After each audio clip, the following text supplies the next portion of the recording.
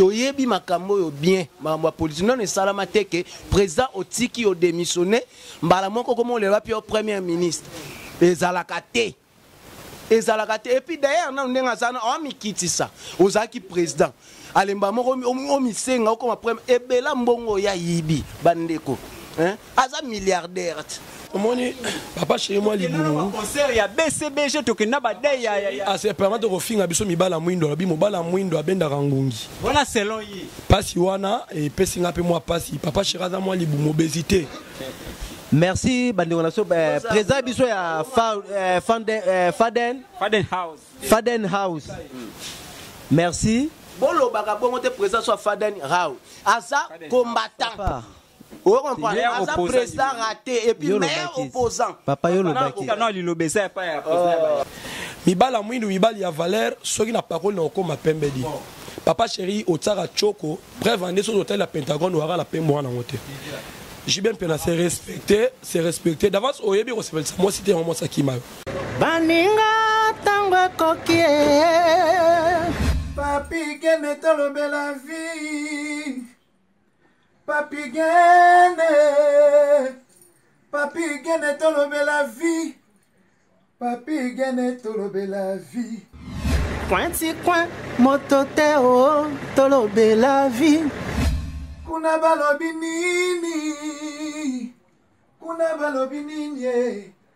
Ah, balobi nini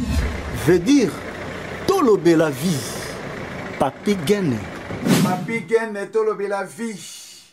papi gene tolobela vie boyoki tolobela vie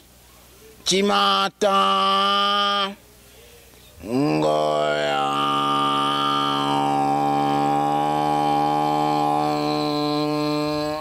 eko di parco émission na bino oyo bolingaka mingi beko oyo ngai zoe matoko wa bajike ngeso eliezer rabi na présentaka mpo na bino na cadre kaka ya bénédiction toza toujours sur le terrain concernant basondage barimaire nde nalobaka toujours rimaire eza continue toujours Rumeur eza toujours ko continuer toza awa na avenue nde bomona bato bazo marcher toza place moko boye toyebi yango te merci yaya comprendre donc bato bazoleka bazomona biso batalaka biso na tolobela vie na profite napesa mbote na mon président papi gen depuis paris eh? grand prêtre papi gen depuis paris tolobela vie tolobela vie tolobela vie Hum, c'est-à-dire mbote lisusu na Washington le grand pays c'est-à-dire prêtre bilambe loba depuis Bundes yonde mokokisi ya bareve ya baprêtre nyonso pourquoi pas mama Congo erga la bénédiction divine c'est-à-dire sondage toujours na tolobela vie tolobaka na bino toujours botala tolobela vie bosabone massivement na tolobela vie pour que bocomprendre quelques réalités sondage lelo eza balobi que non Joseph Kabila premier ministre toyebi te c'est vrai ou c'est faux alors toko découvrir yango à travers les images et puis selon ba intervention ya bato nde bakopesela bocomprendre kaka moi donc afrika moto ndenge pepe kala loba ju na mombafu abwaka afrique moto donc tozopela toujours yango bomona motoki ezobima c'est-à-dire chaleur yango naloba botinda bibende hein, botinda 4 pieds ekodefendre biso na badescente aka nde toye boye toye na bamoto banini bomonaki no totoka toujours jonathan image papi gene tolobela vie ok nde toujours toza na sondage epuis barumeur toza na mama awa ah, tomoni mama azodebrie so tolingaka nde boye bamama boye nde bazobokola biso parce soki mama avandi na ndako yango ezotinda bana na biso ya basi basala kindumba babiso mibali tozala bakulunere mbote mama mbote papa eh, mama nkombo nani komona nga mama mapasa mama mapasa tomoni ozokata matembele puis makayabu na manga eza na pointe tokoyeba vraiment eza nini mpo ke ovanda boye mpo bamama ebele baosala eloko te tomoni baza kaka na ndako estce eza kisi to nini bon eza kisi te eza kaka don hein? nga nakoli mama abokoli biso na makayabu ngai moko mpe eh, nakoli na meseni nabokoli mpe bana kaka na makayabu sikoyo lokola naza veuve mobali akufa omai navanda na ndako esa te mpo ya kosenga mpasi malamu namilukela yango nalamukaka ntongo nango kokataka mwa likayabu na ngai mwa décoration bino mo bomona kaka likayabu asalaki ndeke avec pilipili pembeni donc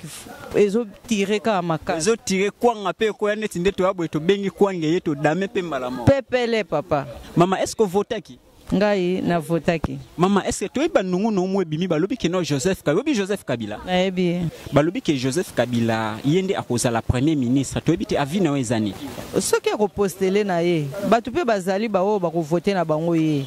eh, bo eza mpe na bato oyo mpe bakosepela na bango te mpo tokoki koloba te ke ye alongwa tokoki mpe koloba te ke ye mpe atikala Eh, soki ngonga ekoki atiki place na ye moto mosusu aye ye a remplace mais soki mpe balobi mpe ye asalaki mabe eza mpe eh, makambo ezalaka nango ebele mpo soki bazwi mpe bamosusu batya na esika na ye akokoka na ye mpe te eh. ok merci toyebi ke réalité ya joueur ntango toza basupportes topesaka kaka tort na joueur azobeta bien te mais or ke réalité azomona sur le terrain biso toyebi te toyebi te mama na badepute national yo ovotaki nani ngai na votaki ndeko eliezer oye mama avotaki ndeko eliezer ntambo eposhi mama toyebi te avi na yo to message no eza nini to liloba oyo ya encouragement epa ndeko eliezer ekoki kozala nini encouragement na ngai ezali akoba kaka kosala mosala na ye eh, liboso na bandaki kosepela na ye te eh. na bandaki kaka ah oyo oyo ya moke moke oyo alobaka na televizio me ntango nabandi kokota mozindo na ye tokomi wapi ah, nabandi kosepela na yango eh, nde antuka akobaka mosala na ye eh, ekozala malamu mm. liloba nini ya kitoko etaki mama moboti okoyebisa ndeko eliezer ntango azolanda yo asepela mpe liloba ya kitoko nakoyebisa ye bon asala mosala na ye na ndenge esengeli azala ponctuel azala mpe na baverite eh, azalaka mpe na baverite bolingo mpe ezala eh, yango kaka naloba mpo mosala biloko wana soki oza nango okoreusir mais soki oza nango te antuka ebendaka kaka bamindondo banuka yango wana eh, yango wana ok merci tolobela vie nayebi ke makambo luka na yo makambo na site mosusu na tolobela vie te parce que okopwatama na ndenge moko ya niveau zero tolobela vi nde makambo oyo esalama bongo na grand pretre papi gene papi gene tolobela vi bambote na oyo yango wana depuis paris nayebi ke moto ya kocontredire nga aza te parce que meilleur site ezalaka toujours tolobela vi jonathan tambusa camera totuna su bandeko mosusu oyo baza pembeni tokende uh, na bamama wana totuna bango su question jonathan image Eh, toza su na mama azoteka fufu tosomba fufu mpe tosolola na mama bamama oyo baboti biso mbote mama mbote papa eh. baboya ye te azaka mutu eh. eh, nzambe asunga ye kaka mpo mtu azala président na biso nzambe asunga ye asalaka peuple esepela atambwisa biso kaka malamu mpo aza da papa na biso tokoboya ye te atambwisa biso kaka malamu tolia malamu tovivre malamu tokosepelaka na ye kaka nde tozalaki liboso oyo nazalaki nango yango wana mm. ah, papa tisekedi nde asunga biso kaka liboso na mpona mambo ya kolia Jus eza na chair mpo na kolia biloko eza ya komata ekola masango eza ya komata ekola fo eza ya komata donc biloko nyonso eza ya komata papa asalaka likanga malamu liboso ya liboso nanu kolia nanu kolia nanu so tolia na so bien tokozala kaka bien mais kolia eza mpasi vie eza na mwa mpasi place wana asunga biso nanu mpo tozo est-ce que eza na bandeko no oyo bavandaka libanda ya congo okopesa mbote bandeko oyo bavanda libanda ya congo to na braza to na poto bandeko eh, eh, bandeko na batalanga bato nyonso baza bandeko na ngai napesi wanga bambote bango nyonso napesi wanga mbote na nkombo na yesu nasukeli kaka wana merci tolobela vi nde makambo nde tolobaka toujours bamama bazobanga kamera tolobela vi so ebimi sur terrain tomoi mpe ndeko aza wana tosolola ne moke papi gene tolobela vie ok toujours toza na ndeko mobali awa ye paza en pleine cop nde baloba toujours article 15 débrouillez vous pour ovivre toza na ndeko awa bonjour papa bonjour papa ah. ah. nanga kombo nani kombo nanga patrick mulumba patrick mulumba balobi ke joseph kabila oyo azalaki président sortant ye akokoma premier ministre sikoyo mpo na yo avino eza nini Bon, tozotala kaka makambo ya vi nde ezotambola bakope nde ezo makambo nyonso ezokendaka bongo bongo tozotalelaka bango me toyebi te eh, likambo nini ekoya tozozelazela kaka babongisela biso makambo misusu me à l'exception de président kabila bakobimisa ye eh, président tshisekedi akobimisa lisusu moto abandi ozala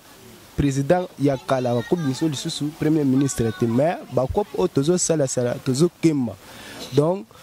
makambo biso tozozela babimisela biso gouvernement oyo esengeli yango nde makambo oyo tozozela est ce que okozala na idée moko opesa président actuel président tshisekedi oza na, na, na conseil moko to avis moko opesa ye okeke okay, no soki ayoki yo ekosala kino mpo na bonne marche ya, ya, ya, ya makambo na ye bon vie ya président tshisekedi tozozelazela kaka bamakambo na bandenge moko boye antake ye aza président entrant bon mpo na makambo oyo etali tozozelazela kaka ye parce que yo mpe bon toyebi nano te apart cope otomona niveau d'étude oza na niveau nini bon apart baétude ngai naza GD naza na na na, na suka na na GD niveau GD osala nini bon GD na sala ba informatique na université IPN awa musika te IPN epa na biso awa bo comprendre que toza kaka na IPN c'est-à-dire to tuna ba question bomoni papa za wa scène intellectuel azo défendre sur euh, makambo monde entier bozo tala bo contacter biso sur euh, www.tolobelavie parce que eza émission ya YouTube eza ba émission ya ba chaîne locale to esukaka kaka awa na ba TV information bato bamoni te ntango tozoleka na tolobela vie monde entier ezotala même Donald Trump alandaka émission oyo ouais. sika oyo bandeko nao batalaka oyo baza soit na poto to na brazzaville libanda ya congo kopesa mbote eza banani ah, naza na yaya na biso moko aza na poto kombo ye mulumba nani patrick kombo na eza kaka bakombo na biso moko nde baoyo baza na poto bamabanga baza kuna banani toza na bandeko ebele baza na poto eh. mbo nazopesaka bango nyonso mbote na kombo ya nzambe kaka ok merci tozalaki bongo na patrick mulumba oyo aza mpe mwana ya congo oyo azodefendre mpe congo bomona azosala cop na place ke asimba minduki ye abona ye kosimba minduki tomoni mpe bandeko baza kuna na kati tomeke mpe kokende totuna bango sur baquestion selon makambo etali merci jonathan tolobela vie papi gene tolobela vie Ouais, selon makambo etali www.tolobelavie site moko ya makasi meilleur site ya diaspora au monde entier etalamaka yango na profite napesa lisusu mbote na mon vieux washington le grand pays c'est-à-dire prêtre oyo bamusicien nyonso bayembaka et puis mokokisi ya bareve merci nayebi ke baevre na yo ezosalaka ezoewa bajike grand maître avivre toujours Hein, na sima ya president Papi Gen tolobela vie yo nde mozalisi toza awa na maison boucherie Allégresse chez mon ami Tonti ya grand maître toujours tokota na kati bokoyeba à travers les images tole tolobela vie Papi Gen tolobela vie nayebi ke selon makambo etali ndenge tolobaka toujours wana tolobela vie eza meilleur site ya diaspora www.tolobelavie.com Toujours merci na Washington, le grand pays yende sponsor numéro 1 ya Zoé Ngeso ba jike na ozelaka 4 pieds ndenge olobaki. Yango nazo continuer toujours koloba po ba rêve ekokisamaka toujours. Mama Congo Erga la bénédiction divine ba mbote na yo yango wana pourquoi pas na kolo masolo papi gen hmm, tolobela vie yonde makambo toza awa na ndeko aza tokotuna baquestion selon makambo etali mpo euta nde koto bomona systeme ezosalama mbote nde mbote papa mm. Balobi ke Joseph Kabila ye premier ministre etant que congolais mwana mboka avis na yo eza nini avant tokota na mozindo ya masolo bon avis na ngai atake congolais atake combattant tonto kiaku mobala molaya nzela minu c'est simple ngai atake congolais atake un bon combattant ya ntongo na bunda mpo na félix tshilombo tshisekedi notre président de la république président ya bogar ya molaya aleki baprésident tout oyo akovandisa masolo selon makambo etali eza impossible te mpe eza lisumu te eloko oyo biso bacongolais tokoki koboya nga te kokombate eza eloko oyo eza anticonstitutionnellement di maître dokis selon article normalement na constitution na biso epekisi te ke joseph kabila kabange ancien mokonzi ya mboka sénateur en vie azala premier ministre na constitution epekisami te epekisami ase repete na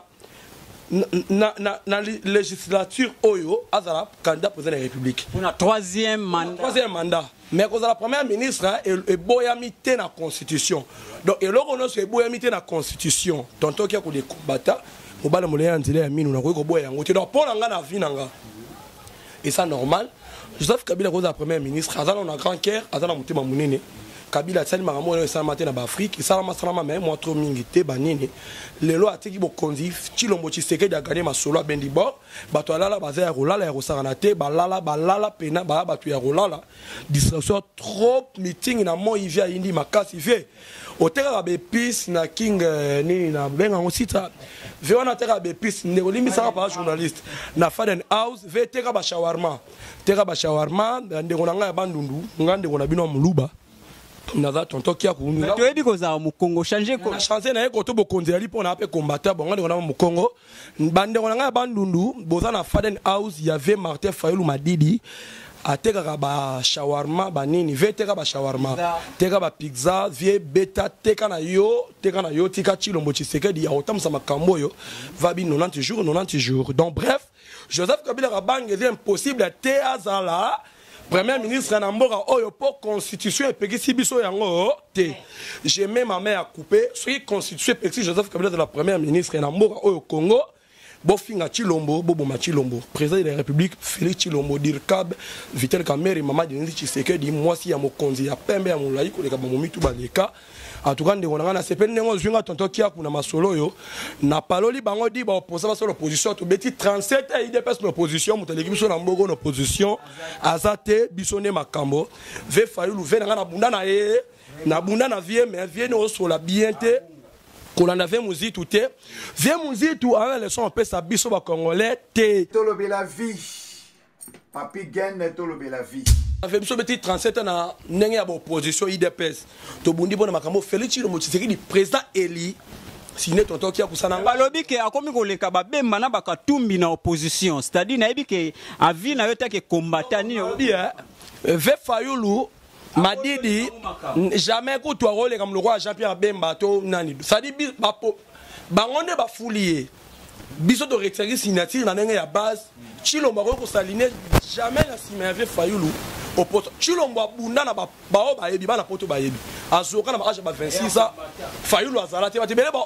bato ebele bamoni lokola président félix abimi kaka lelo lobi bamoni lokola aliba président félix combattant ya 4 heures abunda na ba 26 a bazokisa ye bapotama bafoto eza na baneti bato bayebi neti bakota bokota na groupe na biso ya chilombo futuze félix bokomona ve fayulu oza deja moto ya pembe makasi te banoirongo oza tentire lokola nga c'est-à-dire ve fayulu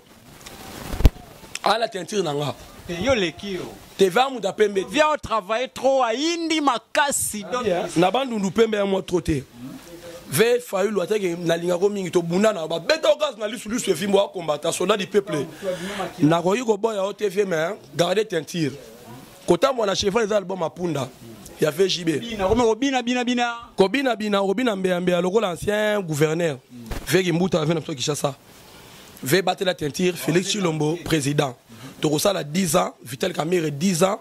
jean-marc kabundi 10 ans toza na 30 ans ya mobimba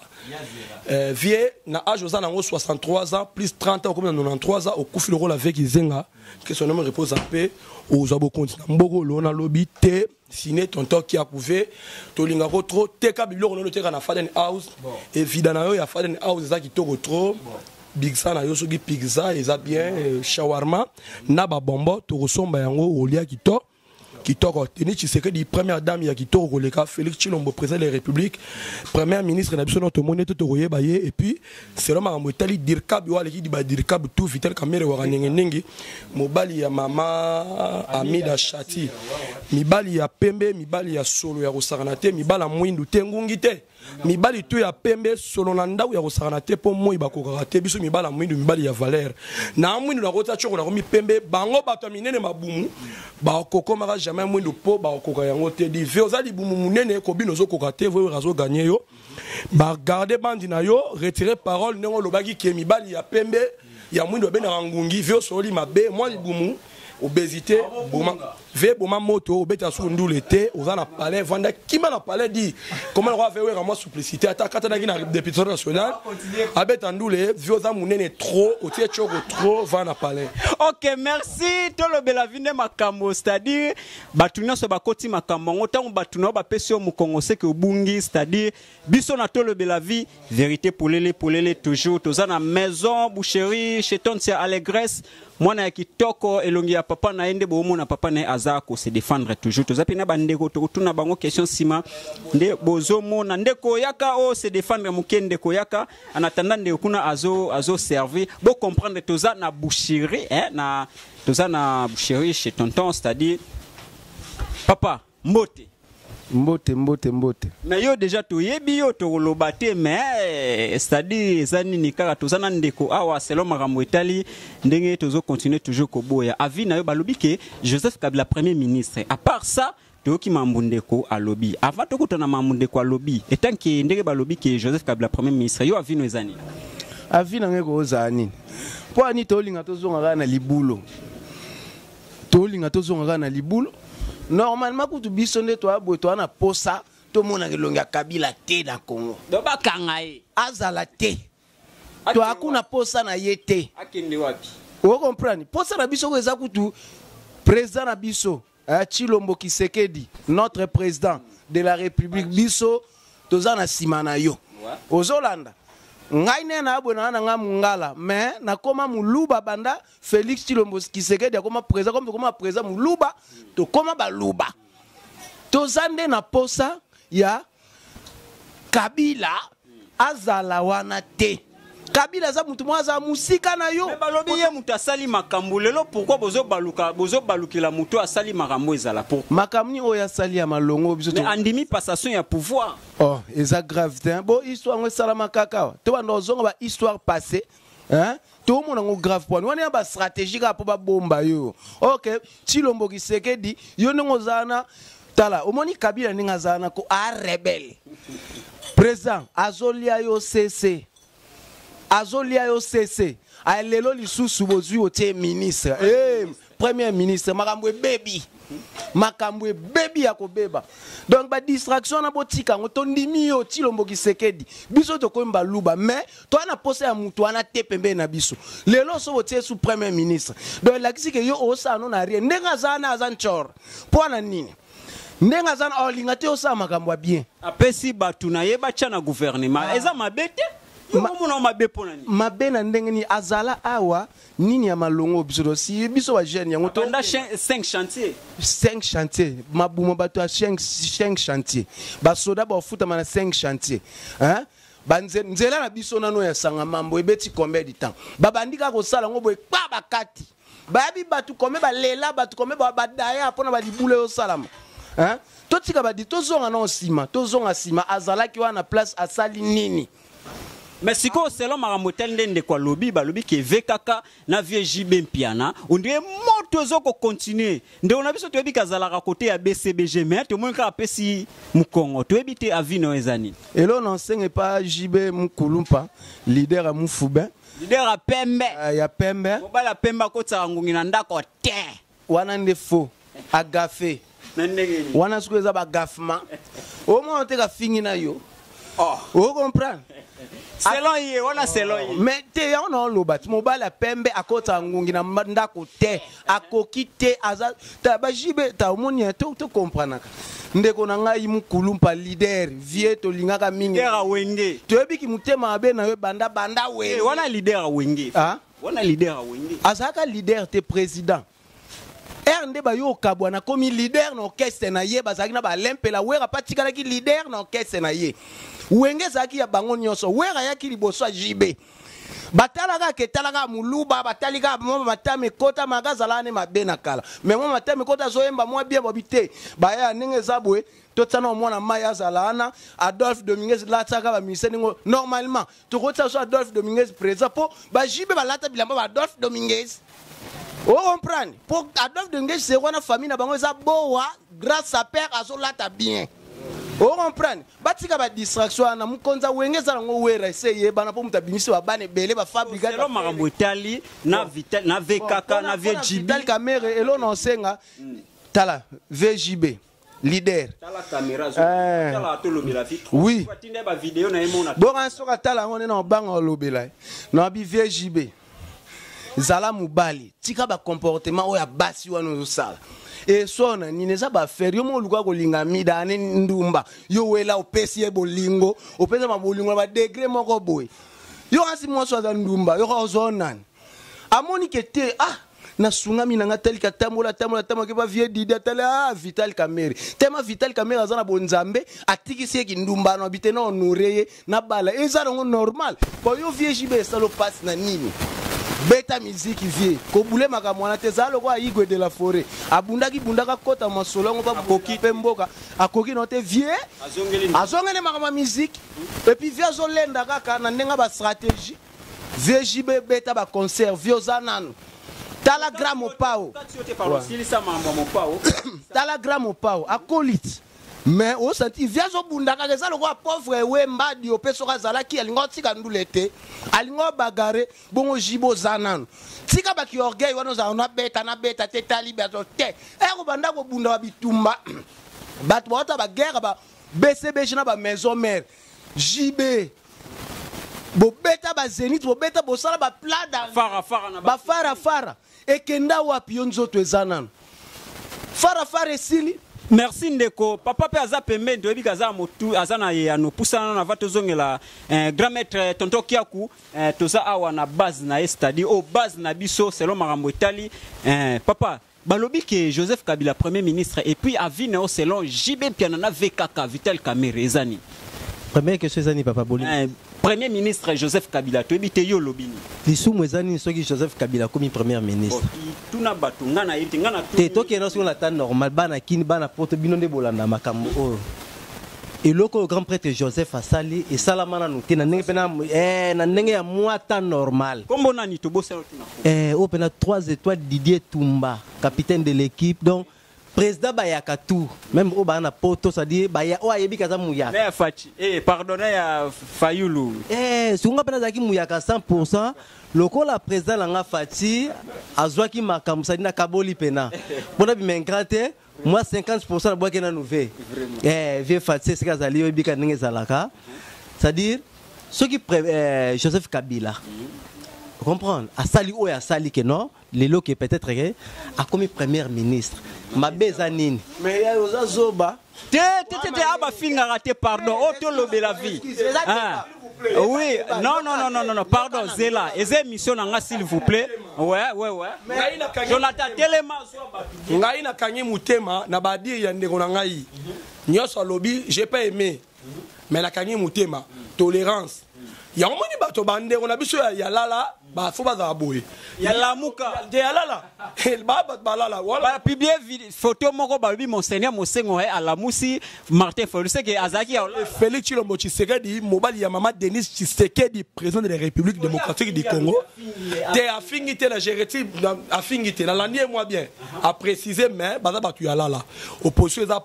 pasi omwende wa omongo melonga fayulu ya ve fayulu elo tolérance tikela mokonzi ya bayaka asolola merci mokonzi ya bayaka azongela na yo avi na yo ok merci ndeko akotoloba eloko moke no naza zobe eh? ouais, ouais. nde ndeko na ngai alobi hmm. donc nde ndeko na ngai auti koloba bato ya lala ya lamuka précise te ya lala on prend oui. lokola bokate na course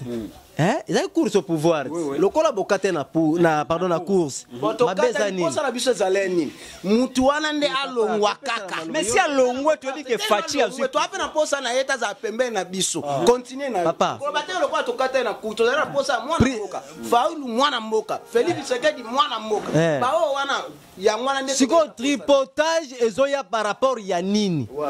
bo prière na bino ezalaki ke non grand prêtre rais atika uh-huh. alongwe mwana mobali ya bato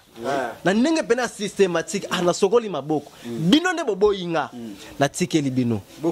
bokonza bobanda koluka mwana mboka mm-hmm. tozwi mpe mwana mboka mpe kaka totie na place sikoyo mabe eza nini yo ndimi grand prêtre rais pardon mpo na constitution ya ah. mboka na biso na constitution ya mboka na biso epekisi te ke ancien premier ministre bato français balobaka boye ancien président s'il vous plaît la loi est dire mais c'est la loi na constitution ya mboka na biso ndeko na ngai ya lala aexplike ngai esika nini constitution article nini elobi ke ancien président akozala premier ministre eh, te epekisi nde a se representer mpo na legislature oyo mais pekisi ye bongo te nyonso oyo constitution epekisami te eza valable ndeko joseph kabila si yo mpo okopesa mpe nalobi ke ndeko joseph kabila kabange juste la asali lisumu te kutu a moto mwa bonzambe alongola kelke mbula epai ya ndeko na biso ya lala abakisela ye mpo na vie motema monene aza nango ok merci toujours tolobela vi nde makambo bozo sentir ba débat toujours toza na maison awa ah, bocomprendre bamama bazokota bazosomba biloko nde ezaka selon mambo etali continue tala omoni mpo na makambo ndeko alobi bon omoni makambo oyo totalaka nano toyebaka no tosala nini toyebi makambo oyo bien makambo ya politiki nono esalama te ke président otiki odemissionne mbala moko koma olela wapi yo premier ministre ezalaka te ezalaka te epuis d'ailleurs nano ndenge aza na amikitisa ozalaki président alemba moko omisenga okoma premier ebela mbongo ya yibi bandeko aza milliardaire si ba minduki yango na bande ekangama na kingakati alibere yango atika mpo ani oboya kotika ebima eye pa, pa président oyo azokumba mboka bo ekangama kuna mpo ani baya tososwa te lelo so topie su premier ministre donc elakisi ke andolinga te ke vie na biso chichi président chilombo ke abanda kosala makambo ya bien Donc vieux fongola misu to comprendre ngo après yo longo ozalaki président au CD oli wa suki premier ministre ni mbongo yo yibi o biso to kembeli o ba santé te oyo o ba santé na biso te c'est bon c'est bon c'est bon tokende pa ndeko na biso mokonzi ya bayaka eh, merci omoni eloko tozoloba kino bandeko na biso ya lala na na onde na onde ko na biso azoloba eto ozo bakeba ya kolala c'est o azoloba azoloba na sa pongi merci bandeko na biso eh, président biso ya eh, Faden eh, Faden Faden House Faden House merci bolobaka bongo te président soit Faden House aza combattant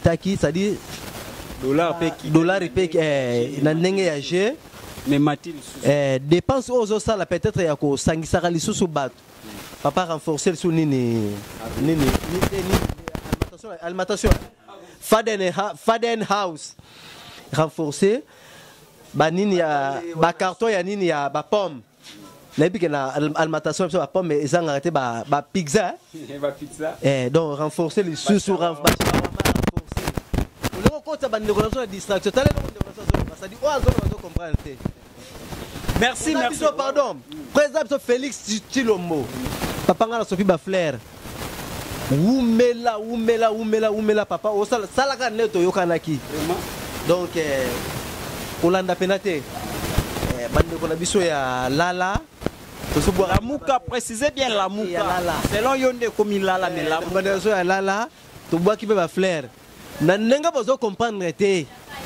eh botika nde odistraire bato ça dit par journaliste oyo ya moke ngai na bakisaka yango wana ok merci merci merci toko libere yo ndeko na ete mot de la fin puis bambote na bato baotalo libanda ya congo mm. ça dit bambote ebele na masa na ngai daus na kata swede diday love hein? benedict petit na ngai ya tongo Mère Anita na kata Suède. Eh, bana poto ya tongo. O ndeko na biso ndeko na bino kuli soda kombata ya tongo. Ndeko na bino kuli o soda kombata ya tongo bana poto tout. C'est-à-dire Landry na kata Paris donc ya yo yango pena. OK. Merci merci merci tozongela yo grand maître leader tontia papa oko zonga na yo. To Ok, merci. To conclure na yo ndeko. Toyote mot de la fin. Nga na continue. nalingaki nabakisa eloko oyo boye notre président félix félix euh, chilombo ya titi toza na nsima na nde tolobaki mais totalaka mpe tala nsima zonga moto kote towuti toyebi me kote tokende toyebi te tomoni baaffaire ndenge elekaki notre président oyo akala wana Hein? Joseph Kabila, eh, Joseph Kabila pré, euh, sénateur hein? eloko asalaki c'est bien asala ene bien mais eza nango mpe grave te normalement cngf atika soki aluka ah, mais na omoni tana koloba nini omoni moto oyo soki asali mabe tro tozali na posa ye te eke asala eloko ya bongo tokoencourage mais esenga ye bongo esengaki esalama akende eloko na koloba présent eh. te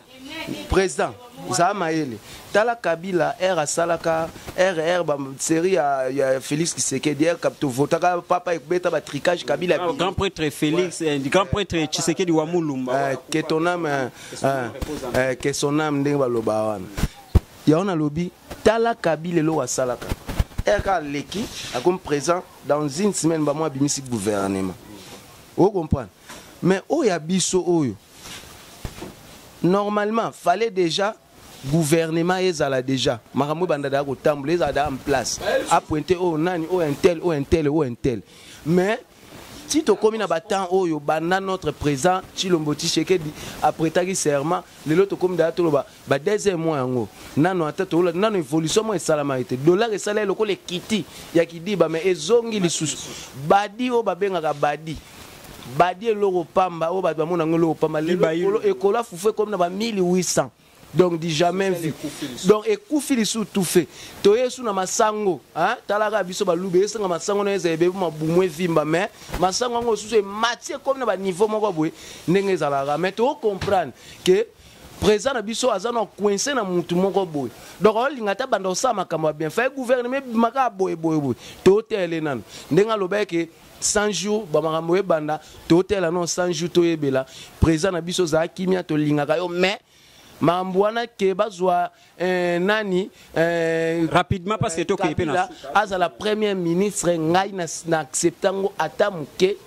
Au mot de la fin par rapport à bato ba watalo epuis bambote na bato baalando bazala libanda ya congo mot de la fin na nga kaka eh, eza kaka ke bana congo bakombate oyo baa na poto tofongola misu epuis moto wana esalongwe na place esenga bakombatan tu oyo bwana poto boya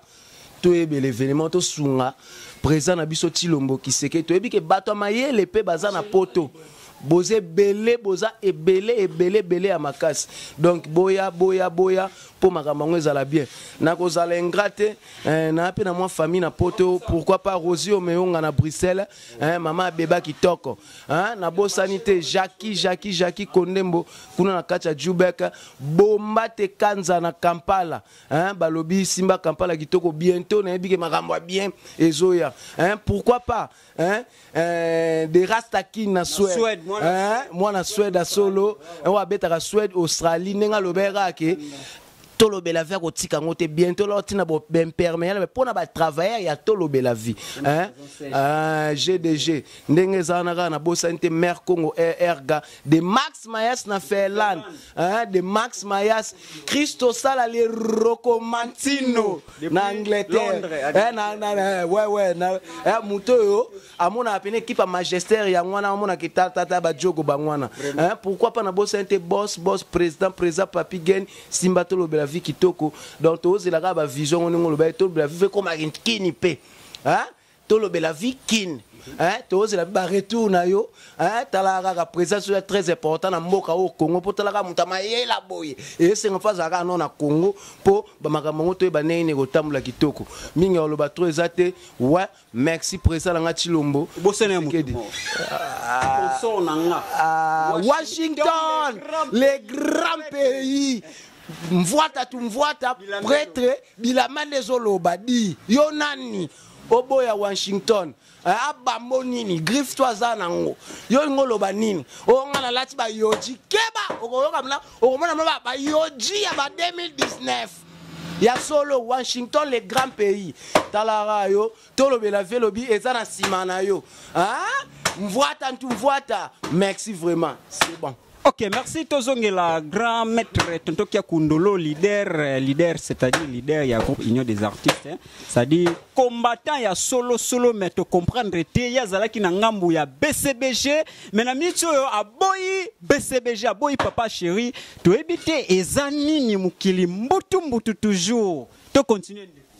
Apotre Papi Gen,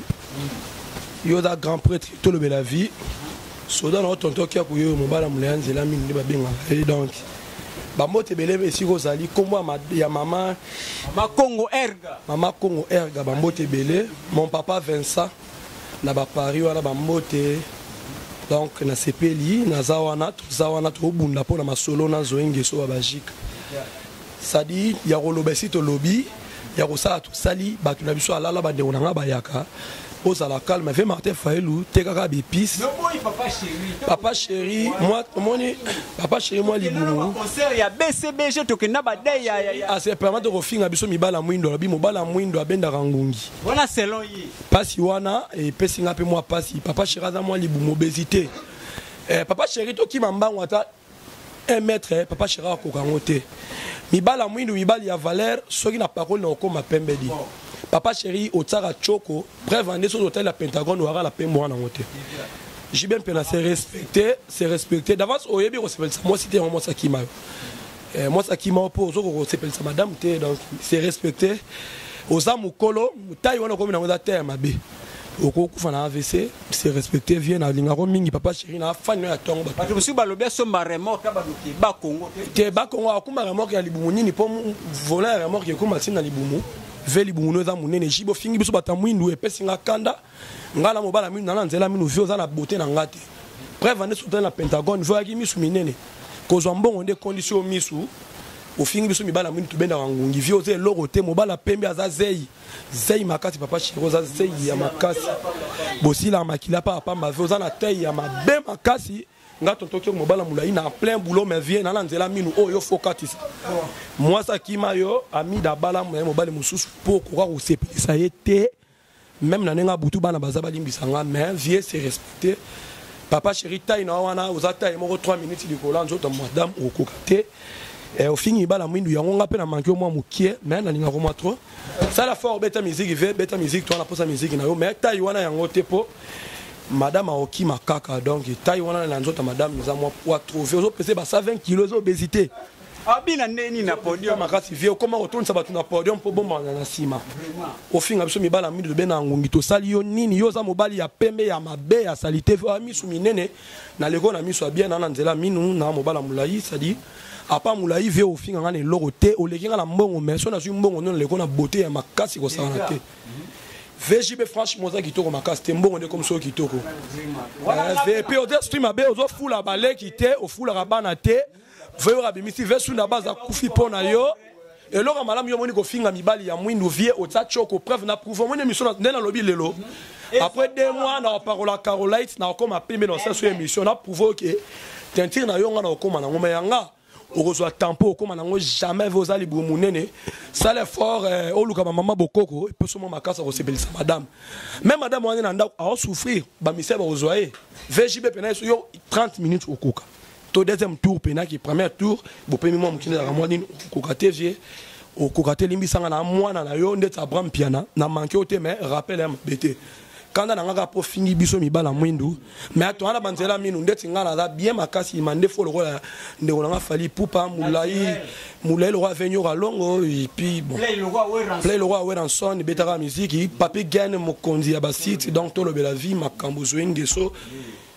Eh, bato na nga tu bambote ebele ebele sans oublier ya pembe ete van couleur plasmatique ezali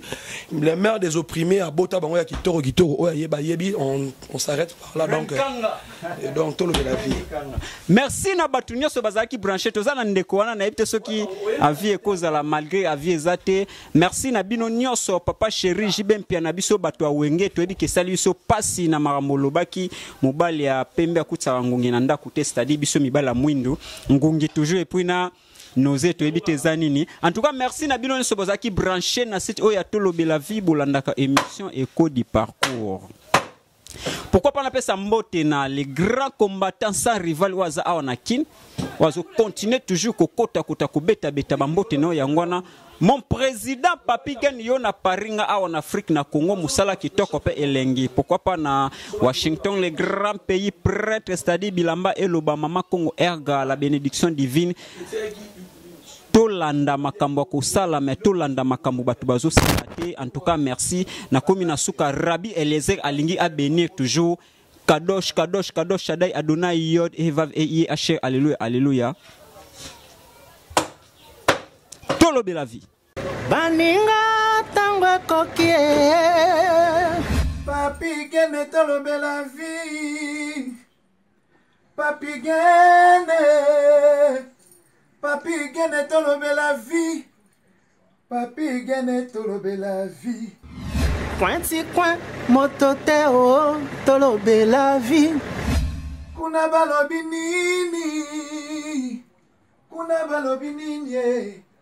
Ah, balobi nini